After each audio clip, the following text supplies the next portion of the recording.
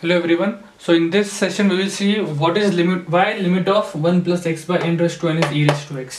This is a result that you are going to use many times if you deal with sequence. So it's a very simple proof. So let's try to see the proof of this limit. So let's start the proof. So so let your y be the limit n going to infinity 1 plus x by n raised to n. I want to prove that this my y is nothing but e raised to x. So whenever you have power into the picture and if I want to remove that power, the best way to remove is to take log on both side. So therefore if I take ln of y, this is ln of limit n going to infinity 1 plus x by n raised to n. So you simply take ln on both side.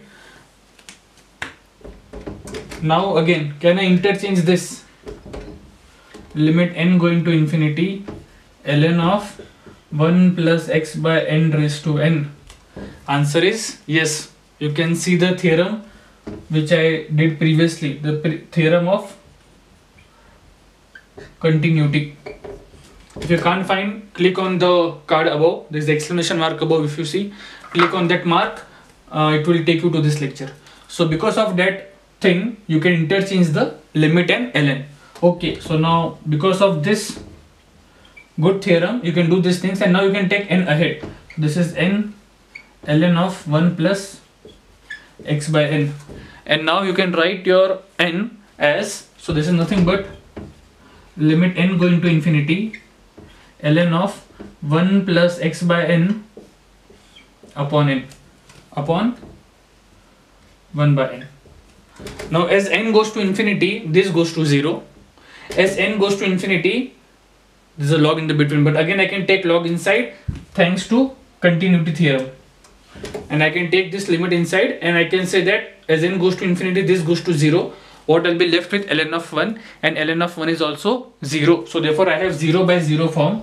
So since I have 0 by 0 form so I can apply the L'Hopital rule we just proved the L'Hopital rule if you want to see I have kept the tag over there you can click on the tag to go to the L'Hopital rule. So because of that L'Hopital rule, this is limit n going to infinity. What is the derivative of this? 1 plus x by n into I am differentiating with respect to n. Okay, so this is minus x upon n square. Derivative 1 by n is minus 1 by n square. You can apply derivative uh, L'Hopital rule directly by taking n into the picture. You simply differentiate with respect to n. Okay so that's the good thing you can do. Now if you try to simplify this further so your y is nothing but minus 1 by square minus 1 by square goes away. Limit n going to infinity. Minus x upon 1 plus x by n. This minus minus also goes away. So this is the thing. And now you can separate the limit because of the arithmetic operations which we saw previously. So this is nothing but limit and x upon 1 plus 0 so ln of y.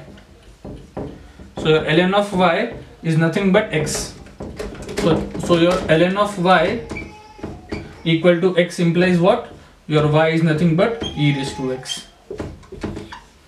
So thanks to the theorem of continuity and to the theorem of L'Hopital we can prove that limit of 1 plus x by n raised to n is nothing but e raised to x. So if someone asks you in general that what is or if some example if they ask you what is limit n going to infinity? 1 minus 1 by n raised to n. You can directly apply this theorem. So your x is minus 1 so nothing but e raised to minus 1 so the limit of this sequence is 1 by e. Or if suppose someone says what is limit n going to infinity? 1 plus pi by n raised to n. So this is nothing but by this theorem your x is pi. This is nothing but e raised to pi so this is a, one of the very nice theorem or one of the very nice result I would say. So this is the thing which which will you might use very frequently. Yeah thank you